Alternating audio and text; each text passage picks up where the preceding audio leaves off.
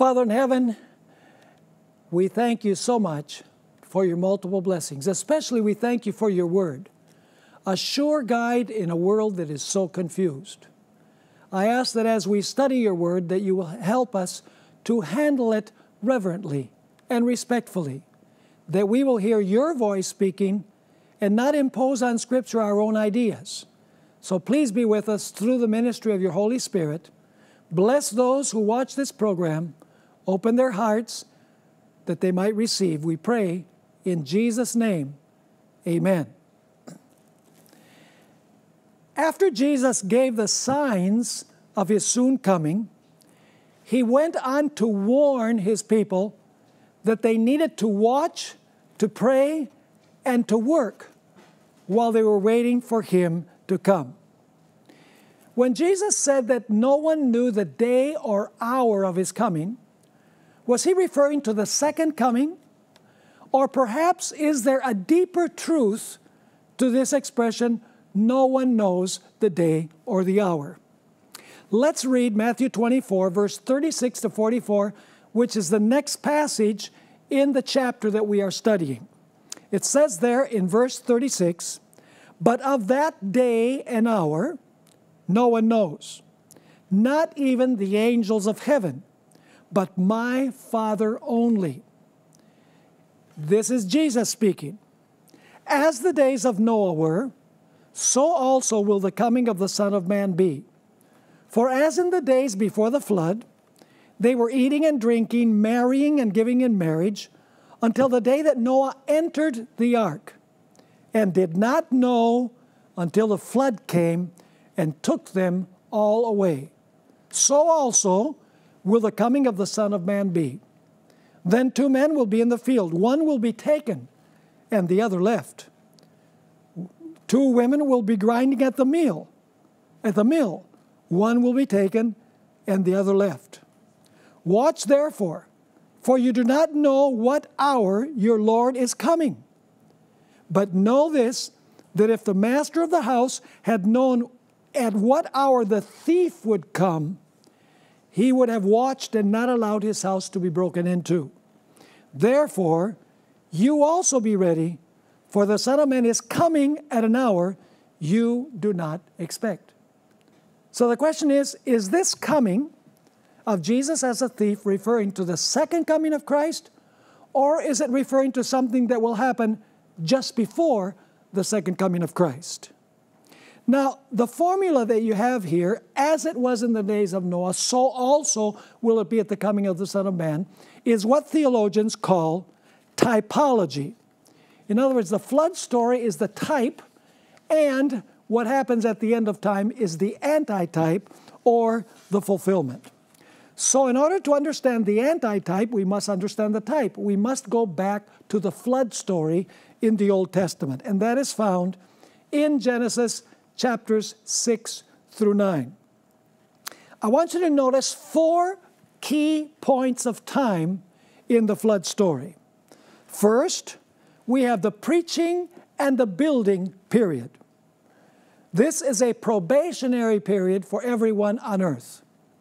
In other words, during this time, the door of probation is open for a period of 120 years. During this time, Noah preached empowered by the Holy Spirit. In fact, he did not preach a smooth message, a politically correct message. He denounced the sins of the antediluvians and called them to repent and to straighten out their ways. During this time, the Spirit strove with the antediluvian race, attempting to lead them to repentance. This is what said, what is said in Genesis 6, verse 3. And the Lord said, My spirit shall not strive with man forever, for he is indeed flesh, yet his days shall be 120 years. So God says, My spirit is not going to strive forever with human beings. I'm giving them 120 years of opportunity or grace to repent and to straighten out their ways. The word that is used here, strive, actually is translated most of the time in the Old Testament as to plead a cause, to contend, or to judge. In other words, the message of Noah was a message of judgment. His message would divide the world into two groups those who were inside the ark and those who were outside the ark. So he preached a judgment hour message under the power of the Holy Spirit. Actually, the flood story doesn't tell us that Noah preached, but the New Testament does.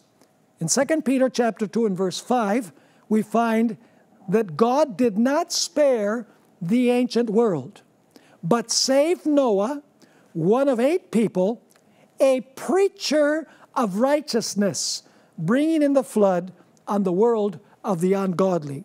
So Noah was a preacher of righteousness. He called the world to repent and to live righteous lives. But Noah not only preached, he also worked, he built. In Hebrews chapter 11 and verse 7, we find these words By faith, Noah, being divinely warned of things not yet seen, moved with godly fear, prepared an ark for the saving of his household, by which he condemned the world and became heir of the righteousness which is according to faith. Noah backed up his words by his actions. He had a faith that worked. He invested all his time, his efforts, his strength, his talents, his resources into the building of the ark. Everybody else was saving for a rainy day. Building the ark for Noah was not one priority among many, it was the top priority, and I would say the only priority.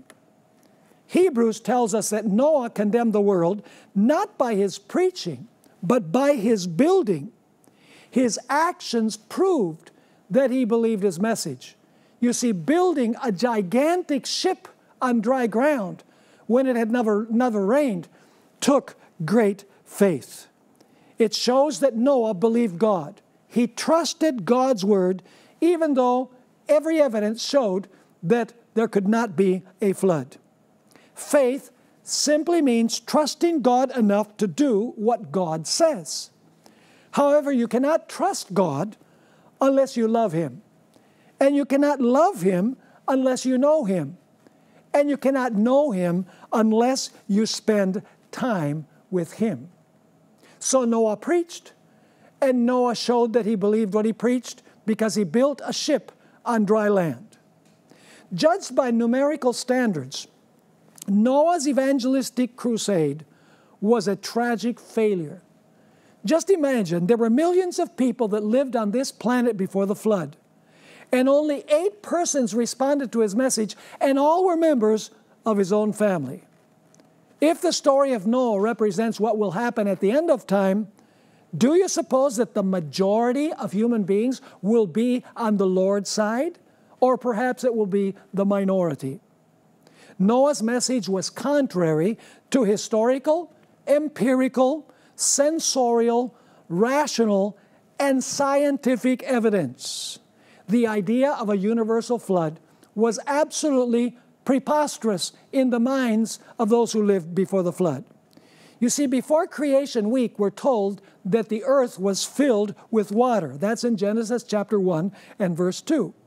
On the second day of creation, God took part of the water and placed it under the earth, and took the other part of the water and placed it above the earth, kind of like a canopy to create a, a climate that was uniform all over the world.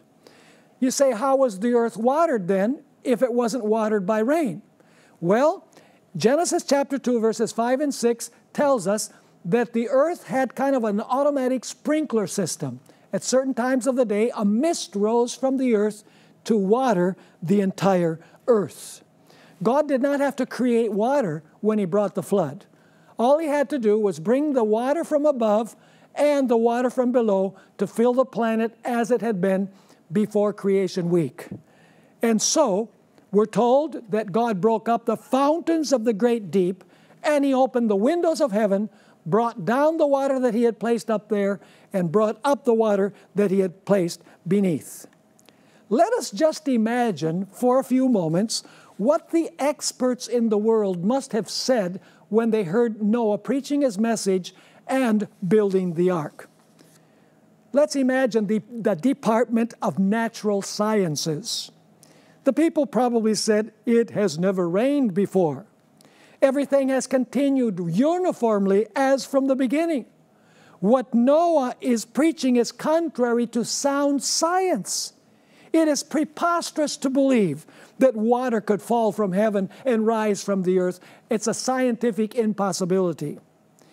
I imagine what the theology departments were saying. Noah focuses too much on our sins. God is a God of loves. He loves the world too much to destroy it. Besides, rain from heaven would require a miracle, and nature works on the basis of fixed laws, so there can be no such things as miracles. What would the history department have been saying?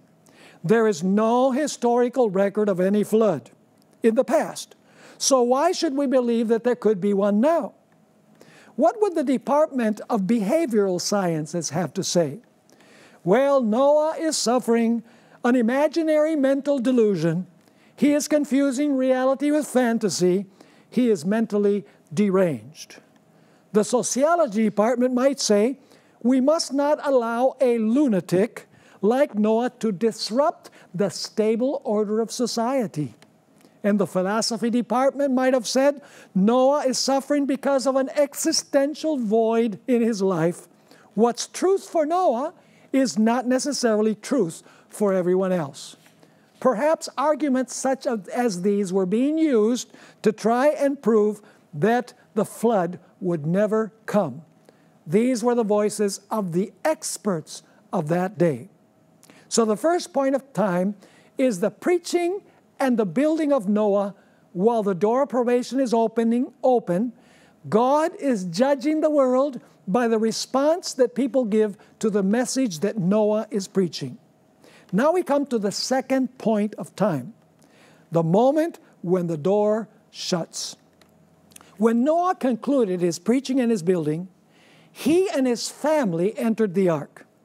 The Spirit then ceased to strive with human hearts. The Spirit of God was withdrawn, preaching had come to an end. Everyone's choice was final. The world at this moment had only two groups those who were inside the ark and those who were outside. The sealed inside and those marked for destruction outside. But before the door was closed, God gave one last spectacular sign to try and convince the people before the flood that the flood was going to come. And that is when the animals came into the ark in perfect order. It wasn't the case as in the Hollywood version where Noah's sons are roping the animals and pulling them to the ark. No, they came and they marched into the ark in perfect order. We find that in Genesis 7 and verse 16. So those that entered, male and female of all flesh, went in as God had commanded him, and the Lord shut him in. In other words, the Lord shut the door. Ellen White in Patriarchs and Prophets, page 98, had this to say about the shutting of the door Noah was shut in, and the rejectors of God's mercy were shut out. The seal of heaven was on that door. God had shut it, and God alone could open it. This reminds us of Matthew 24 when the first destruction of Jerusalem took place. There were two groups those that stayed and were destroyed, and those who fled. In the same way, in the days of Noah, those who entered the ark had the seal of God, they were saved, and those who were outside the ark were destroyed. At the end, the faithful will have the seal of God, and the unfaithful will have the mark of the beast. So when that door shut, probation closed. Why did God shut Noah and his family in the ark? For two reasons. First of all, to protect, protect them from the rage of the people of the lost outside the ark. And secondly, to spare them from the destruction that would come as a result of the flood. Once Noah was inside with his family and the wicked were outside, there was no changing sides. All cases had been decided. The judgment hour message of Noah had divided the world into two groups. Now we go to point number three. After the door of mercy closed, Noah remained inside the ark with his family, and the wicked were outside for a period of seven days. Notice Genesis chapter 7 and verse 4. For after seven more days, I will cause it to rain on the earth, 40 days and 40 nights, and I will destroy from the face of the earth all living things that I have made. Have you ever wondered why God kept Noah and his family inside that ark with all of those animals for a period of seven days before it actually rained? Could God have made it rain immediately? Of course He could have. There must be a purpose for which God let them, let them in the ark seven days before it began to rain. Patriarchs and Prophets, pages 98 and 99, explains For seven days after Noah and his family entered the ark, there appeared no sign of the coming storm. During this period, listen carefully now, their faith was tested. Imagine one day passes, two, three, four, five, six, seven, because it started raining on the eighth day, and uh, nothing happens. The people outside become more violent. Those inside, they're wondering, perhaps were we wrong in coming into the ark? Their faith was tested. It was a time of triumph to the world without. The apparent delay confirmed them in their belief that Noah's message was a delusion and that the flood would never come. Notwithstanding the solemn scenes which they had witnessed, the beasts and birds entering the ark, and the angel of God closing the door, they still continued their sport and revelry, even making a jest of these signal manifestations of God's power. They gathered in crowds about the ark, deriding its inmates with a daring violence which they had never ventured upon before. So they were saved inside from the violence of the multitude and also from the destruction that would come. During this time, the faith of those inside the ark was severely tested. God would fulfill His word. They believed, but they had to wait for God to act. It was a day of victory for those outside the ark. It was a day of apparent ridicule and defeat for those who were inside the ark. Ellen White compared the shut door in the days of Noah with the shut door when probation closes. This quotation is from Patriarchs and Prophets, page 98. Likewise, when Christ shall cease his intercession for guilty men, before his coming, this is important. Likewise, when Christ shall cease his intercession for guilty men before his coming in the clouds of heaven, the door of mercy will be shut. Then divine grace will no longer restrain the wicked, and Satan will have full control of those who have rejected mercy. They will endeavor to destroy God's people. Notice, just like the wicked outside the ark were furious with those who were inside. But as Noah was shut into the ark, so the righteous will be shielded by divine power. You see, probation is going to close before Jesus comes. And after probation closes comes the time of trouble, such as never has been seen. God's people will remain on the earth during this period. Their faith will be severely tested. The wicked will surround them to try and destroy them. They will cry out day and night to God for justice and for vengeance, as we're told in the story of the widow, the persistent widow in Luke chapter 18, verses 1 through 8. Let's go to point number four the actual destruction on the eighth day. Genesis chapter 7 11 describes this cataclysm. It says, In the 600th year of Noah's life, in the second month, the 17th day of the month, on that day, all the fountains of the great deep were broken up, and the windows of heaven were opened. In other words, the water that God placed above was brought down, and the water that He placed beneath was brought up. Ellen White in Patriarchs and Prophets, page 99, actually saw this terrible destruction while she was in vision. Here's the description Water appeared to come from the clouds in mighty cataracts Rivers broke away from their boundaries and overflowed the valleys. Jets of water burst from the earth with indescribable force, throwing massive rocks hundreds of feet into the air. And these, in falling, buried themselves deep in the ground.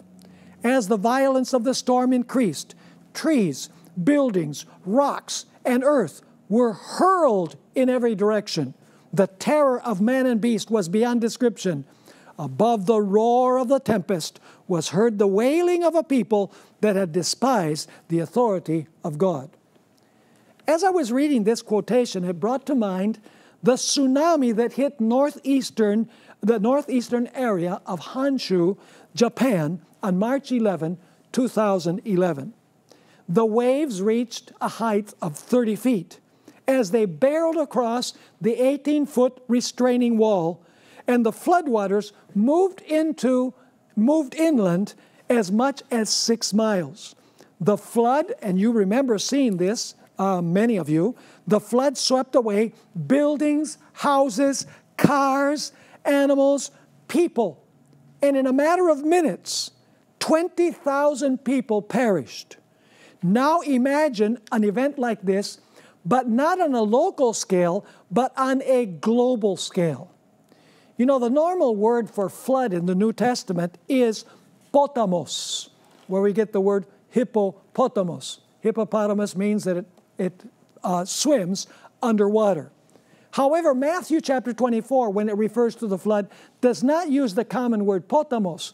It use the word, uses the word cataclysmos, in other words, the flood was a cataclysm.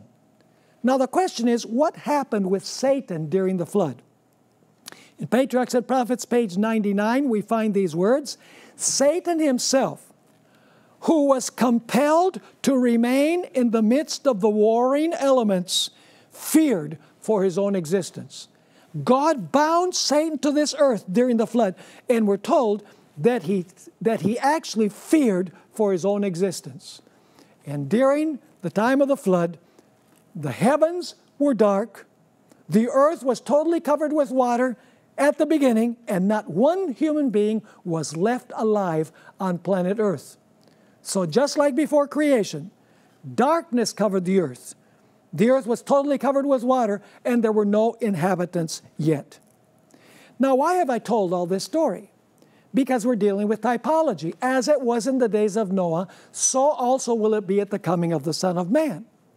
In Matthew chapter 24, verses 36 to 39, we notice that Jesus applied what happened at the flood to the end of time.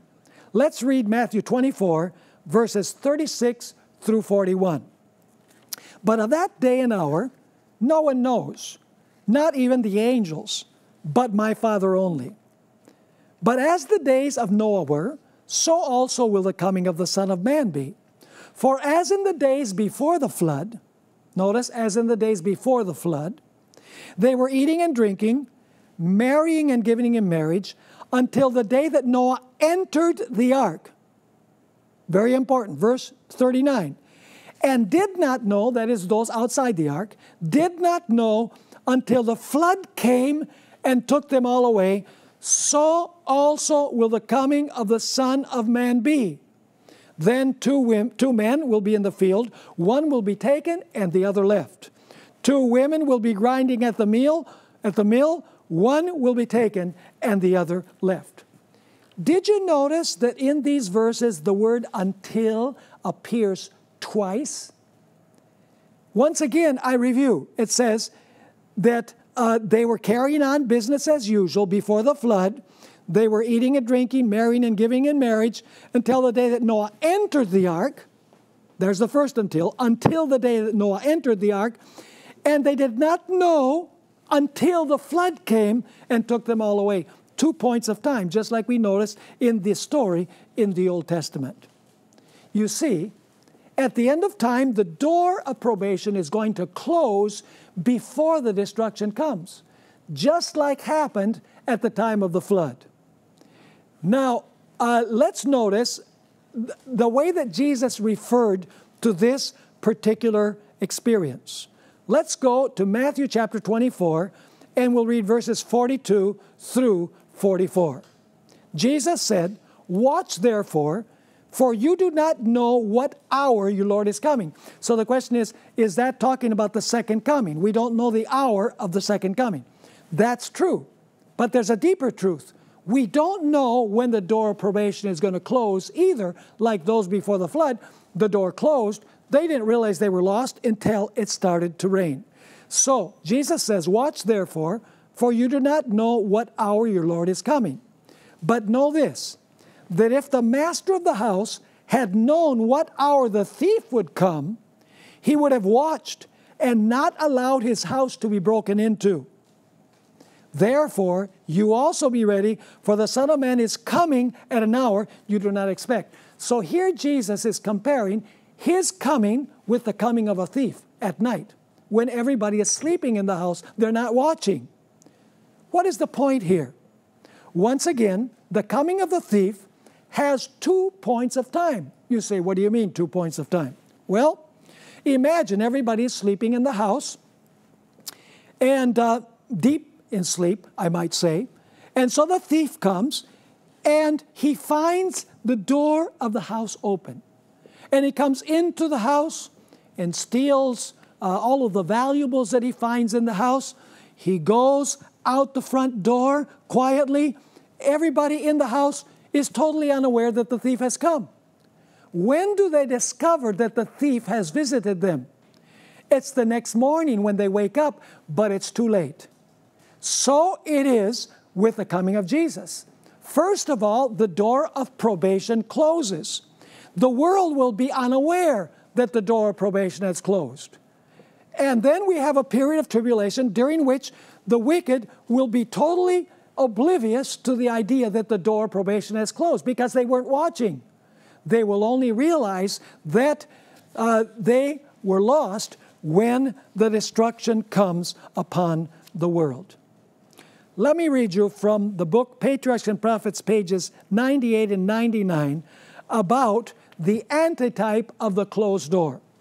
Ellen White wrote, and she's, do, she's now applying the experience before the flood to the end of time.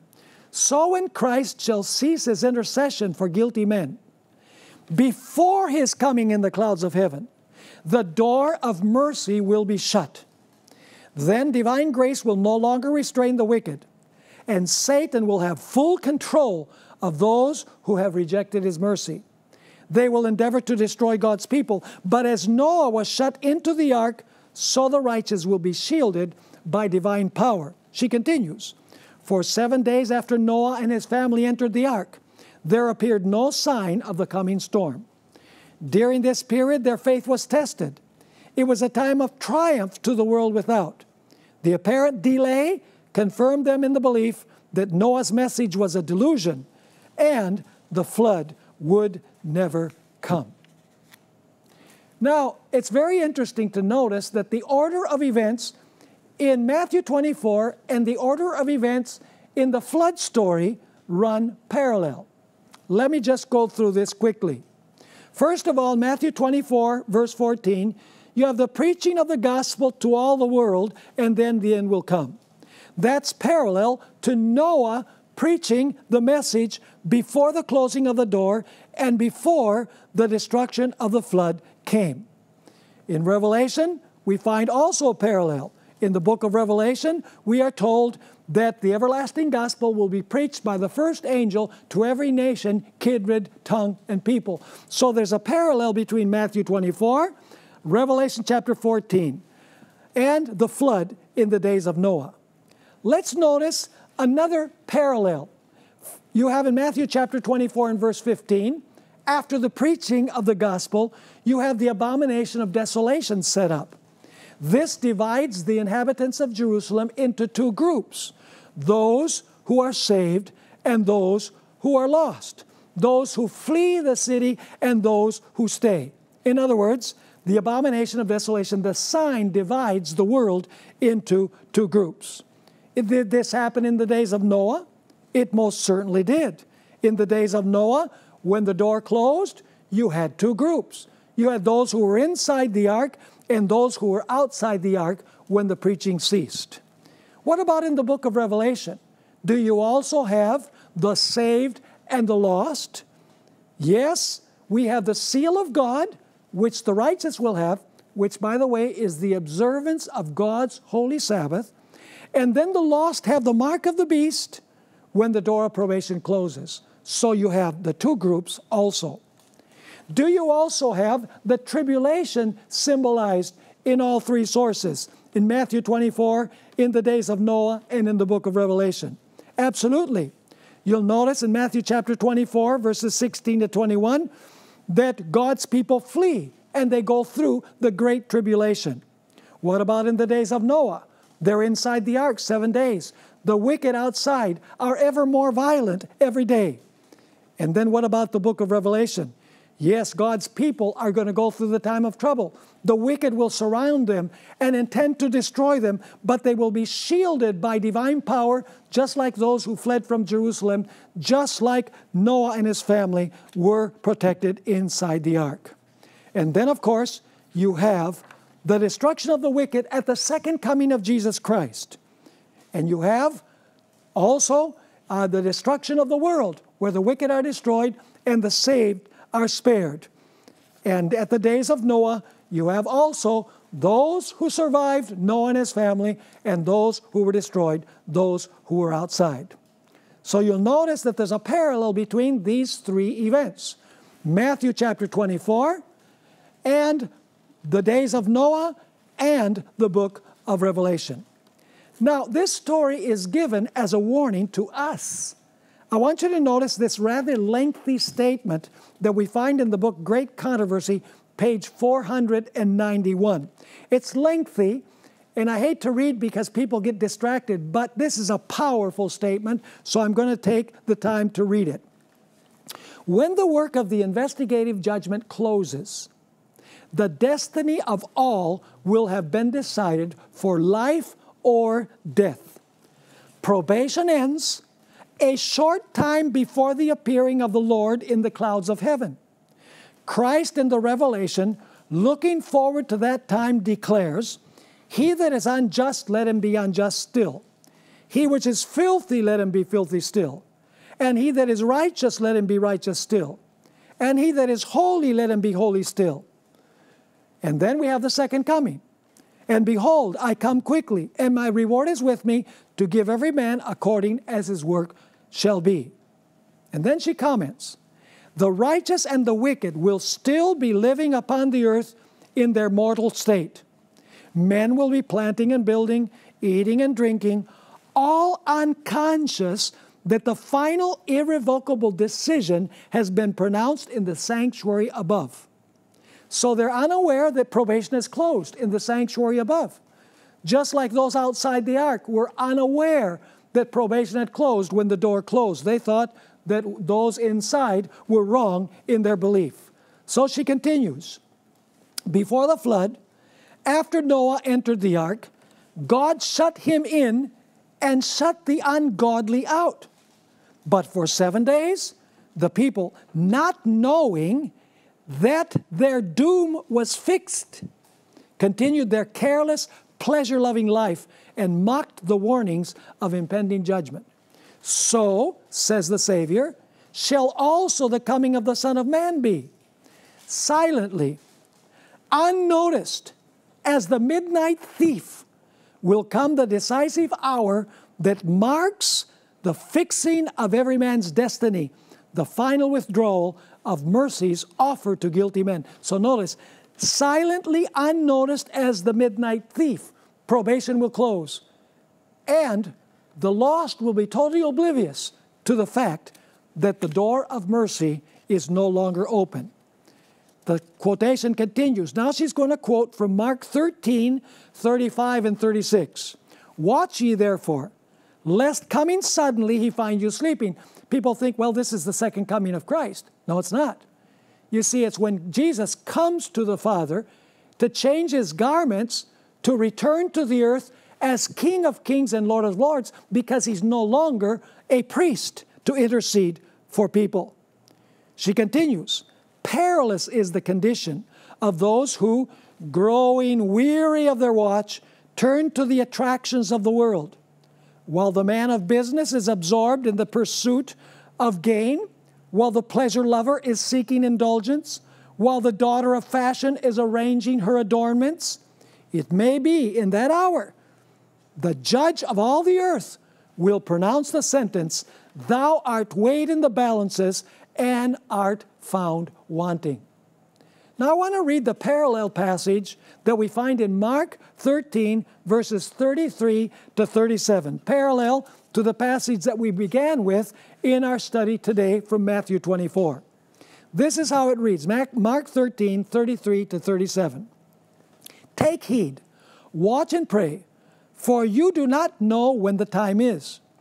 It is like a man going to a far country who left his house and gave authority to his servants and to each his work and commanded the doorkeeper to watch.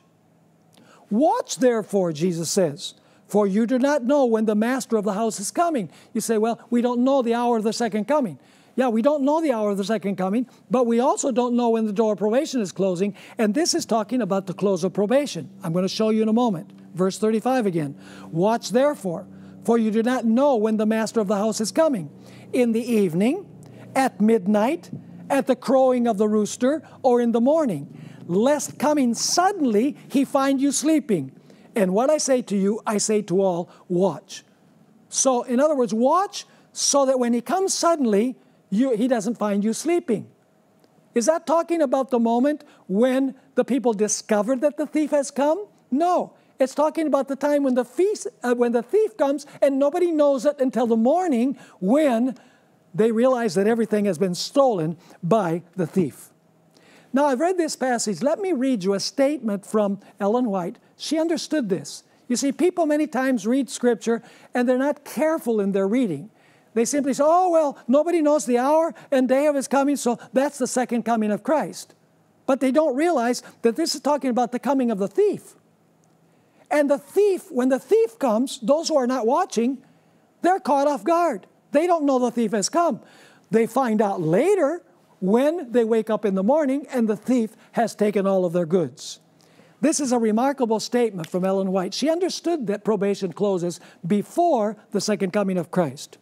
This is a rather lengthy statement also. It's found in volume 2 of the Testimonies, page 190 and 191. She's going to quote the passage that we just read from Mark 13. Jesus has left us word. Now she quotes, Watch ye therefore, for ye do not know when the master of the house cometh, at even, or at midnight, or at the cock crowing, or in the morning, lest coming suddenly he find you sleeping. And what I say unto you, I say unto all watch. She's quoting Mark 13, where it says, Lest coming suddenly he find you sleeping. She continues, We are waiting and watching for the return of the Master, who is to bring the morning, lest coming suddenly he find us sleeping. And then she asks this question what time is here referred to? That is, when the return of the Master is. What time is referred to here? Not to the revelation of Christ in the clouds of heaven to find a people asleep. No, but to his return from his ministration in the most holy place of the heavenly sanctuary, when he lays off his priestly attire and clothes himself with garments of vengeance, and when the mandate goes forth he that is unjust, let him be unjust still. And he which is filthy, let him be filthy still. And he that is righteous, let him be righteous still. And he that is holy, let him be holy still. When Jesus ceases to plead for man, the cases of all are forever decided. This is the time of reckoning with his servants. To those, now I want you to notice the key words that I'm going to read following. To those who have neglected not rejected, neglected. The preparation of purity and holiness, which fits them to be waiting ones to welcome their Lord, the sun sets in gloom and darkness and rises not again. Probation closes. Christ's intercessions cease in heaven. This time finally comes suddenly upon all. And those who have neglected to purify their souls by obeying the truth are found sleeping. They became weary of waiting and watching. They became indifferent in regard to the coming of their master. They longed not for his appearing. and thought there was no need of such continued persevering watching. They had been disappointed in their expectations and might be again. They concluded that there was time enough yet to arouse. They would be sure not to lose the opportunity of securing an earthly treasure. It would be safe to get all of this world they could. And in securing this object, they lost all anxiety and interest in the appearance of the, the appearing of their master. They became indifferent and careless, as though his coming were yet in the distance. But while their interest was buried in their worldly gains, the work closed in the heavenly sanctuary and they were unprepared. What a magnificent description that Ellen White gives here, based firmly on what we have studied from Scripture. Now, let me ask you, what is going to happen after the second coming of Christ? What is going to happen with Satan during the thousand years? You can read it in Revelation 20. We're told that Revelation that, that Satan will be bound to planet Earth just like at the flood.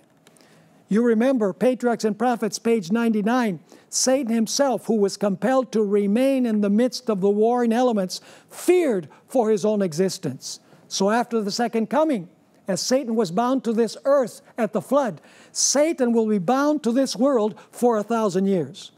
During this period, according to the prophet Jeremiah, chapter 4, verses 19 to 23, the earth will be without form and void like it was before creation, and the planet will be in darkness. All of the wicked will also be dead. We find that in Revelation chapter 20. Satan has lost all of his followers. So basically, you have a repetition of what the world was in before creation week. Now, is it possible to be notified but surprised? I want to talk to you now about an event that occurred in the country of Colombia many years ago. On Wednesday, November 13, 1985, the eruption of the volcano Nevado del Ruiz caused an avalanche of mud that buried the city of Armero in Colombia. Some 22,000 souls perished in one night. One wonders whether this devastating loss of life could have been prevented. Were there no signs that indicated that the volcano was going to explode and that there was going to be an avalanche of mud? The answer to this question is a resounding yes. There were warnings.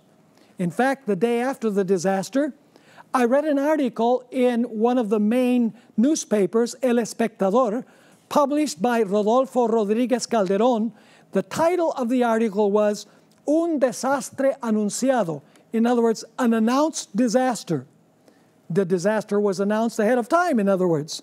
The article makes it clear that every single person in the city of Armero could have saved their lives if they had paid attention to the signs of impending doom, but they chose to ignore the signs. What were the signs? Eleven months before the disaster, the mountain had begun spewing out smoke and ash. The fluffy snow at the top of the mountain became a solid sheet of ice due to the intense heat within the mountain. The water level of the rivers increased significantly due to the melting snow. The cloud of ash and gases, which rose 15 feet high the first day, increased to 750 feet the second day, and the day before the eruption, the cloud of ash and gases had reached a height of 16,000 feet. On September 11, the Earth's tremors reached an intensity of three on the Mercalli scale. On occasion, people could hear the mountain roar from inside. The authorities had to close the access roads to the mountain ski resort because of the mudslides that totally covered them. It was impossible for people to keep their houses clean because of the volcanic ash that blew into town day in and day out. The people could smell sulfur in the air. The evening when the uh, volcano exploded, there was a torrential rain, according to those who survived, with wind of hurricane proportions that began around 9 p.m. According to the handful of survivors, the darkness was unusual. And some eyewitnesses that survived said that the darkness was virtually supernatural. Were there enough signs that a disaster was going to take place? Absolutely. So why didn't people flee when they saw all these signs? Move to some other place. This is the sad part of the story. In, in fact, of the multiple, in spite of the multiple signs, 22,000 people perished on that fateful night. One wonders whether something similar can happen with regards to the second coming of Christ. Could the second coming catch people by surprise in spite of all of the signs that there are that Jesus is coming soon? Why did the city of Armero choose to ignore these signs? Well, in the same article that I mentioned from the newspaper El Espectador, we have the following information about the reason why the people decided to stay within the city. A priest in the city, Edgar Efren Torres, came over the radio at 7 p.m. that evening and told the people, There is no reason to panic. Please stay calm. The civil defense, in an official radio release, affirmed there is no reason to be concerned. The bishop of the town, Augusto Osorio, warned against fanatics who were announcing gloom and doom for the city. The mayor of the town said, Don't worry. The governor of the state of Tolima, where Armero is found, said later the disaster could not have been predicted in advance. Colombian scientist Jaime Villegas Velasquez confidently predicted this volcano is not going to erupt, nothing is going to happen. Beware of speculations and exaggerations. The Secretary of Mines, Ivan Duque Escobar, asserted that nothing will happen. Even United States geologist Darrell Herd said that it was very unlikely that the cities could be buried by rocks, lava, or mud. The Regional Emergency Committee that very evening sent out a message don't expect your windows to shatter. Don't expect darkness. Don't expect lava to run down the mountain. Don't expect large layers of ash, among other things. The people did not know that probation had closed and destruction was on the way and very few of those who lived in the city were left. Now, this is something very interesting. We need to talk briefly about those who are left and those who are taken. You remember that in Matthew chapter 24, Jesus says, One will be taken and the other will be left. Now, many, many scholars say that the ones that are left are the ones that stay on earth uh, during the thousand years, uh, the lost and that those who are taken are the ones who are taken to heaven in the rapture at the second coming. But I believe if you study Scripture carefully, the ones who are left are the ones who survive. The ones who are taken are the ones who are destroyed. You know, for example, if there's a flood today, and, uh, and the flood takes away a whole town, we say, Did the flood take everyone away? Wasn't anyone left? You see, we don't have the time to go through this, but the word left in the Old Testament is a remnant word. It's referring to those who are left after a great calamity, after a great destruction. You know, being that this is talking about the flood, we need to go to Genesis chapter 7 and notice something very interesting.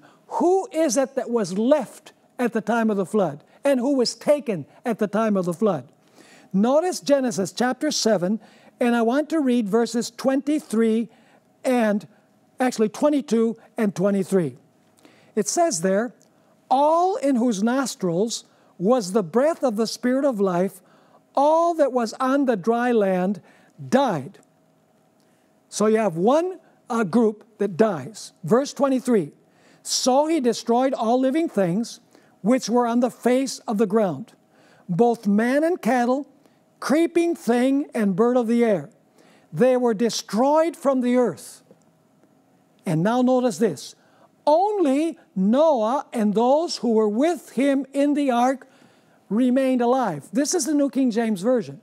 But if you read many other versions, it actually says there in verse 23 at the end, only Noah and those who were with him, him in the ark were left. Jesus himself said that the flood took away all of the wicked. So those who were left were Noah and his family. This is a remnant word. Let me just go to one other verse uh, or a couple of verses that use this very same word left to show you that the left are the remnant that are saved. The left are, no, are not those that are left behind, according to the famous series of books. Uh, you know, they're not the ones that are left behind, while the ones that are taken are the ones that take it to heaven in the rapture. You know, this, the idea of the rapture is not a biblical idea.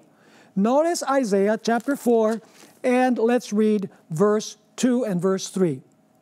In that day, the branch of the Lord shall be beautiful and glorious, and the fruit of the earth shall be excellent and appealing for those of Israel who have escaped. And it shall come to pass that he who is left in Zion and remains in Jerusalem will be called holy, everyone who is recorded among the living in Jerusalem. So you'll notice here very clearly that we are told that those who are left in Jerusalem are holy. Now let's notice 1 Thessalonians chapter 4. Incidentally, I wrote a little book, uh, and uh, you can get this book from Secrets Unsealed. It's called Taken or Left, where I deal fully with this. It's about a small book, probably about 20 plus pages, and you can get the full explanation of what I'm sharing with you now.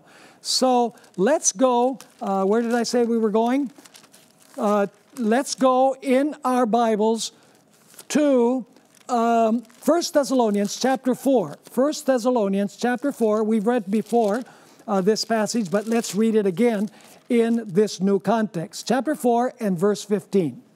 For this we say to you by the word of the Lord, that we who are alive and remain until the coming of the Lord will by no means precede those who are asleep. For the Lord himself will descend from heaven with a shout, with the voice of an archangel, and the trumpet of God, and the dead in Christ will rise first. Now, notice this. Then we who are alive and what? And remain, or are left, shall be caught up together with them in the clouds to meet the Lord in the air, and thus we shall always be with the Lord. The word left, as I mentioned, is a remnant word. It's what remains after a great catastrophe, after a great cataclysm, after a great destruction. So when uh, Scripture speaks about the taken and the left, the taken are not those who go to heaven in the rapture seven years before the glorious coming of Christ, and the ones who are left are left here behind alive to suffer the great tribulation. You say, How do we know that? Well, I've shared several ideas with you. Let me share another one with you. In the, in the period of Noah, before the flood, let me ask you, when the flood came, how many groups were there? Were there, first of all, those who survived in the ark. Then you have those who were destroyed outside the ark. And you had some people that remained alive outside the ark. Is that the case? No. You have two groups those who were saved in the ark Everyone else was destroyed. There was no third group of survivors that were on the earth during the flood that survived the flood. Now, why do I bring this to view? Because the rapture idea basically teaches that when Jesus comes for the rapture, he takes his people, his faithful people, to heaven, and some on earth will be destroyed when planes crash and cars crash, etc. But there will be a third group that are, that are those who are alive and remain on earth during the tribulation. Futurists call it the tribulation force. So instead of the two groups at the flood, you have suddenly three groups. But there are not three groups, there are two groups. When Jesus comes in power and glory, there will only be two groups those who are saved and those who are lost. And by the way, I repeat once again how important this is that when the door of probation closes, everybody is saved or lost. There is no changing sides at that particular point. Now, let me end by mentioning one more thing. There will be a corporate close of probation for the entire world. We don't know when that close of probation will be. In other words, there's a close of probation for everyone on planet Earth. It is a global close of probation. But there's another close of probation that the Bible speaks of. And this close of probation is individual and personal. It's not global and it's personal, but it's personal. And by the way, this close of probation can occur at any time. And you say, what are you talking about? Well, the fact is that as long as a person is alive, they are able to choose one of the two sides. That is until the corporate probation for the world closes. People are able to choose to be on one side or on the other side.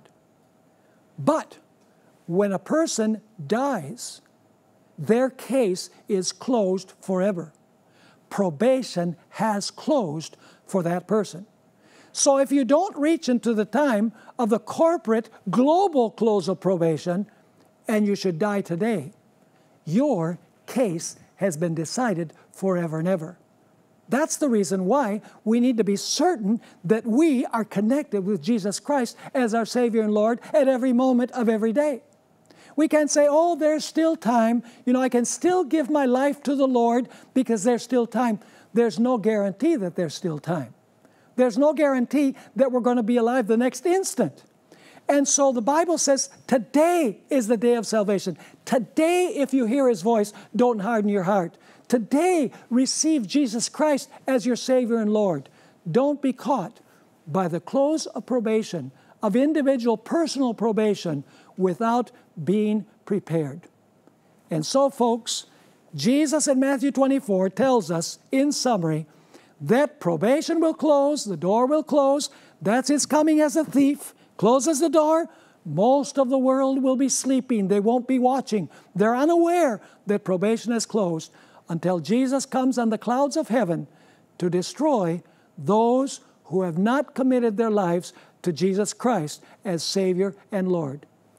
My prayer is that we will take this seriously and that we will uh, commit our lives to the Lord and Savior Jesus Christ so that He will save us both after probation closes and at His glorious coming. May God bless us and may that be our experience.